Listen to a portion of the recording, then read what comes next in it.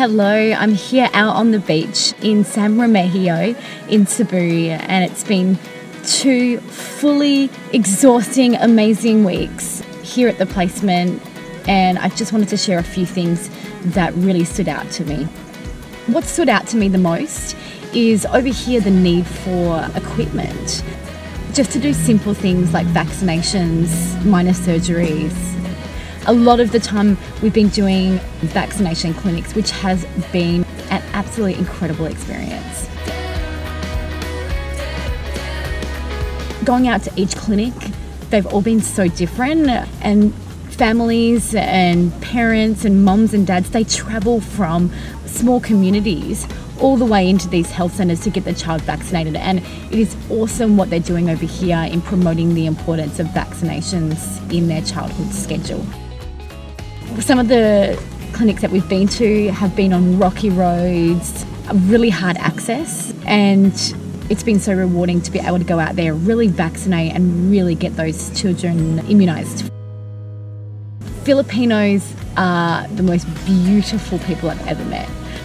They don't have everything, they might not even have access to any technology, but their laughter and their happiness and their sense of family is the, one of the most incredible things I've ever seen.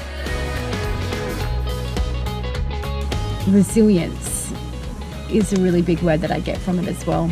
They have to make their own gloves up with their helpers. They put powder on it, individually wrapped in just newspaper um, that are used out on the placements in the clinics. Also, what really stood out to me is the need for vaccinations over here with not sometimes access to 100% clean water, even accessibility to food.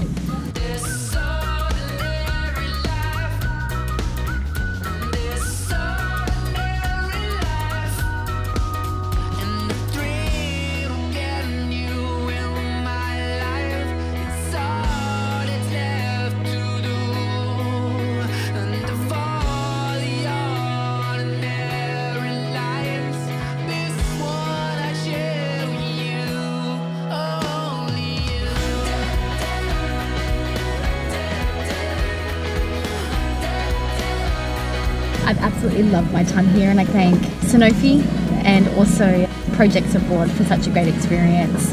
This has been so rewarding, so incredible, and I don't want to leave. Thank you, Philippines.